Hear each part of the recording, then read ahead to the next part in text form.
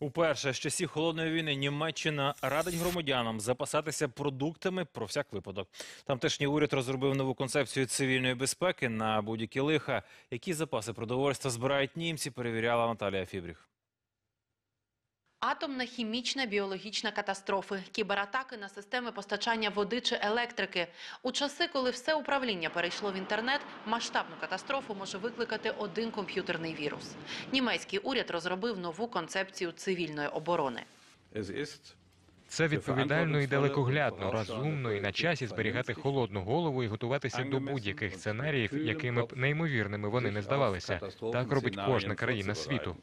Підготуватися на чорний день радять і німцям, а саме закупити запасів продовольства і води. 6-7 півтора літрових пляшок води з розрахунку 2 літри на добу на дорослу людину. Цього має вистачити десь на 5 днів. Рівно стільки дають собі німецькі служби, щоб відновити водопостачання за будь-якої ситуації. Ну а от харчами пропонують запасатися надовше на 10 діб. Проте опозиційні партії обурюються, що поради закупити харчі, як у часи холодної війни, можуть остаточно настрахати німців і без того переляканих останніми терактами. Утім, від катастроф сьогодні не застрахований ніхто, кажуть експерти з безпеки.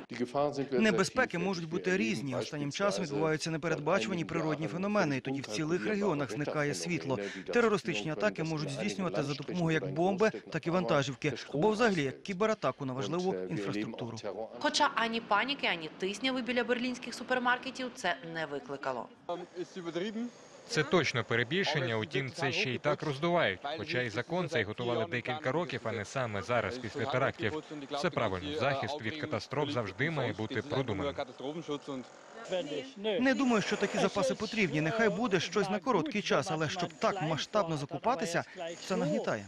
Запасатися продуктами крок добровільний. Натомість влада потурбується про будівництво автономних колодязів, створить запаси продовольства з рису бобових та згущенки, закупить заздалегідь медикаментів та вакцин. Наталія Фібріх та Єнс Нільсен з Берліна. Спецкор 2+,2.